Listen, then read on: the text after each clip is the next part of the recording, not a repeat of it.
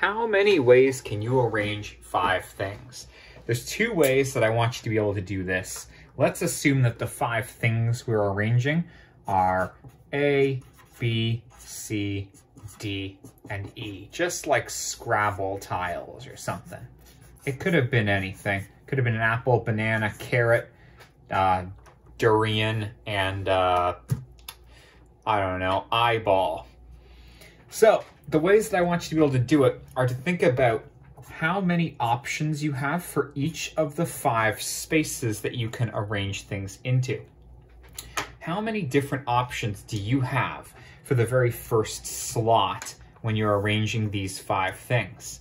Well, it could be A or B or C or D or E, so you have five options. But at that point, you've now used up one of your tiles. So by the time you're choosing a next thing to put in the next slot, how many options do you have? You're down to four because you've already used one up. And then by the time you get to the next slot, you have only three letters to choose from. Then you have only two letters to choose from.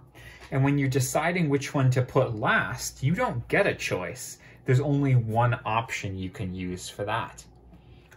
So the way that you can calculate this is 5 times 4 times 3 times 2 times 1, which is 120. And if you're being asked this question, your teacher probably covered something called factorials.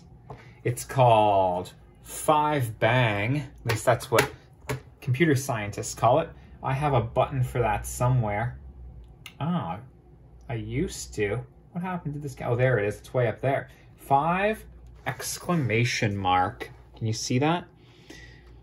Does the same thing for me. It takes 5 and multiplies it by everything else that's lower than 5 down to 1. 5, 4, 3, 2, 1.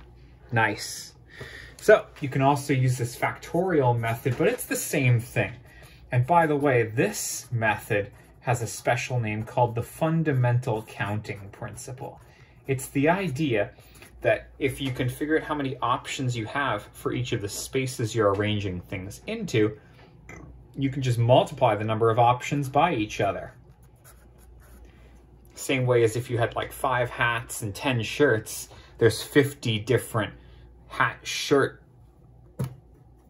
pairs that you could possibly make.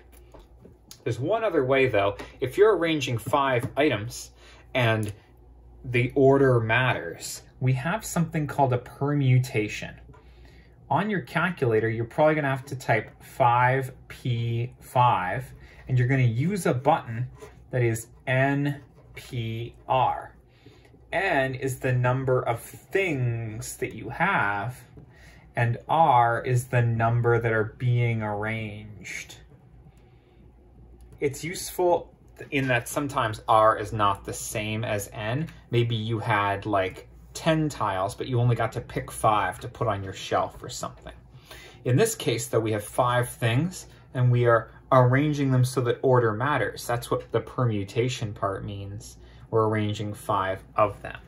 So let me go find that on the calculator. Five, here it is, NPR is written there.